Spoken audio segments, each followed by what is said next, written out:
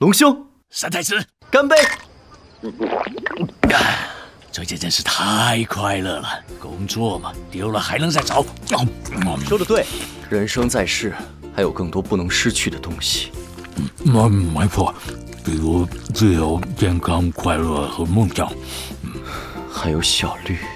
小绿？谁是小绿呀？那是一个阳光明媚的午后。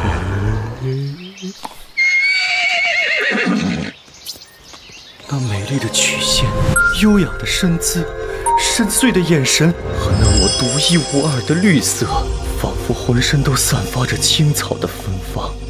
我被小绿深深的吸引了，我很想立刻追上去，但那时我还有更重要的使命。阿弥陀佛，走反了哟，西天不在这个方向。嗯，好可惜呀。那后来呢？后来小绿就消失了。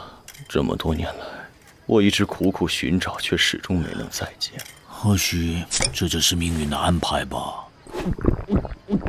不说了，这顿我请。你好，买单。好的，我找您。呃，忘带手机了，可以现金或者刷卡吗？当然。呃，不好意思，钱包也没带。龙龙兄，龙兄，不好意思啊。让你破费了，改天我一定。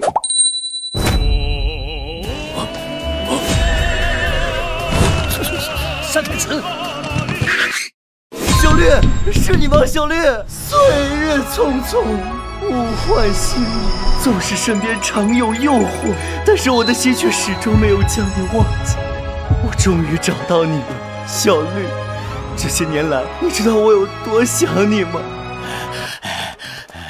小绿啊，小绿是命运吗？让你我再次相遇。这次我不会再让你离开，我不能再失去你了。嗯，小绿，跟我走吧，我现在就带你回家。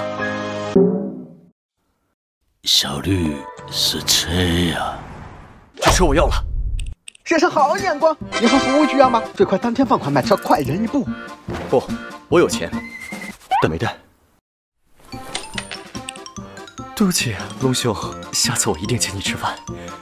先生，这还要吗？嗯，要。超大深海夜明珠，价值连城。本店不接受以物换物。三太子，我们还是明天再来吧。可是小绿，